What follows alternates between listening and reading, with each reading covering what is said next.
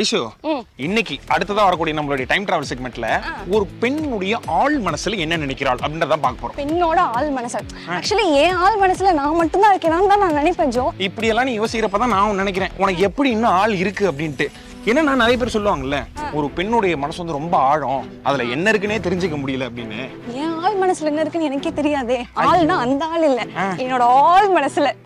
இப்படி பெண்களுக்கே தங்களுடைய ஆள் மனசுல என்ன இருக்குன்னு தெரியலனாலும் வரக்கூடிய ஆண் மகனுக்கு கண்டிப்பா தெரியும். சோ நம்மளுடைய கவிஞர் வி ராமகிருஷ்ணன் அவர்கள் வந்து இந்த டாபிக்ல தான் பேச போறாரு. பார்த்துட்டு வந்துருங்க. டைம் டிராவல்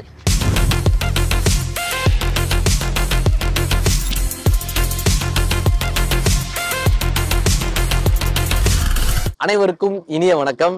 இது டைம் டிராவல் நான் உங்கள் மதுரை ராமகிருஷ்ணன். பெண்ணிற்கு ஞானம் வைத்தான் புவி பேணி வளர்த்திடும் ஈசன். மண்ணுக்குள்ளே சில மூடர் அந்த மாதர் அறிவை கெடுத்தார்னு பாரதி பாடியிருப்பார். பெரியார் சொல்வாரு இந்த சமூகம் உருப்படணும்னா பெண்ணின் கைகளில் இருந்து கரண்டியை பிடுங்கி அவர்கள் கைகளில் புத்தகங்களை கொடுங்கள்னாரு. ஒரு ராஜா இன்னொரு ராஜாக்கும் ஒரு ராஜாக்கும் சண்டை நடக்குது. ரெண்டு பேருக்கும் பயங்கரமான சண்டை. இப்போ ஒரு ராஜா தோத்து போயிடுறாரு ஒரு ராஜா ஜெயிக்கிறாரு. இப்போ தோத்து போன ராஜா சொல்றாரு எங்களை மன்னிச்சு விட்டுருங்க. நாங்கள் வந்து எப்படியாவது பொழைச்சிக்கிறோம் எங்களை மன்னிச்சு விட்டுருங்க. இப்போ ஜெயிச்ச ராஜா சொல்றாரு உன்னை மன்னிச்சு விட்டுறேன். ஆனால் ஒரு விஷயம். நான் ஒரு பொண்ணை காதலிக்கிறேன்.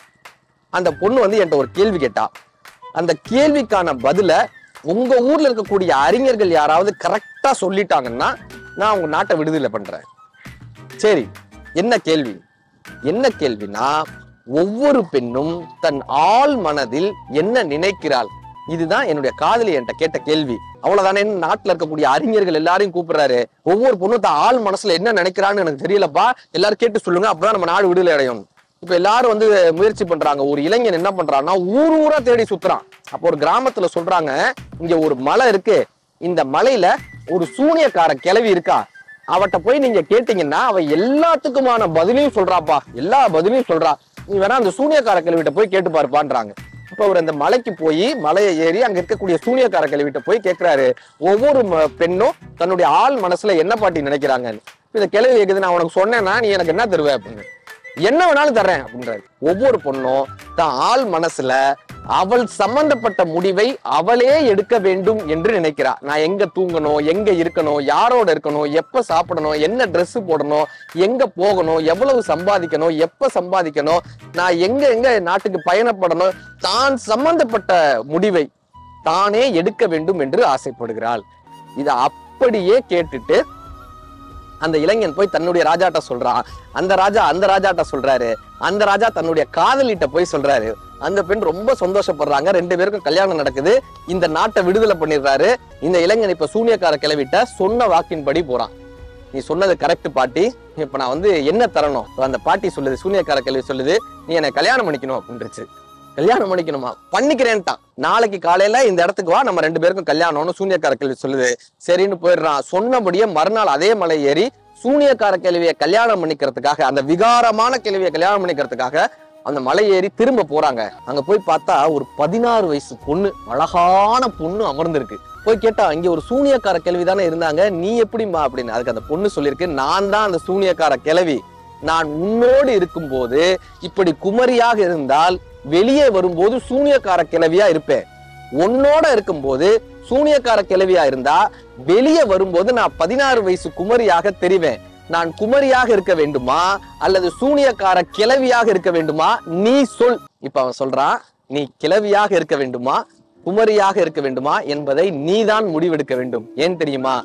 ஒவ்வொரு பெண்ணும் தன் சம்பந்தப்பட்ட முடிவுகளை தானே எடுக்க வேண்டும் என்று விரும்புகிறாள். அப்ப அந்த பொண்ணு சொன்னாலாம் எப்பொழுது நீ அந்த முடிவை என்னிடம் கொடுத்து விட்டாயோ நான் எப்பொழுதும் அழகான தேவதையாகவே இருப்பேன். அந்த பெண் எப்பயுமே தேவதையாக இருந்தாள்னு சீன கதை வருங்க.